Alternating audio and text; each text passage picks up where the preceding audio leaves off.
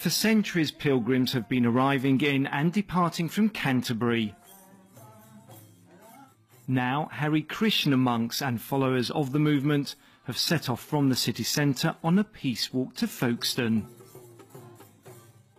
Canterbury, as a religious, spiritual town, as a holy place, is alive with spirituality.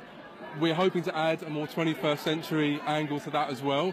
So together we're showing people that religion isn't divisive, religion isn't about arguing or fighting, religion is actually a unifying principle when it's practiced properly. It's the first time such a procession has been organised in Canterbury. The Walk for Peace, as it's known, aims to bring people together following recent terror attacks. And the event has the blessing of the Dean of the city's cathedral. We set people off on the road very often to cross Europe by all kinds of means, on bicycles, on foot, uh, and at the same time we receive people coming along the ancient pilgrim routes and they come to find this place a, a focus for their, their faith.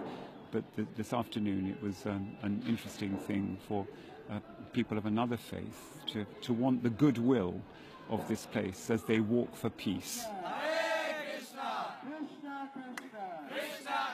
The Hare Krishna movement is a branch of Hinduism dating back to the 15th century. This week its spiritual message has come to Kent. Well, the pilgrims are now well on their way to Folkestone after leaving here earlier, and they're expected to arrive in Folkestone in around five days' time, covering 40 miles. The pilgrims should arrive at their destination by the end of the week, giving East Kent a flavour of the Hare Krishna movement. Tom Savides, ITV News, Canterbury.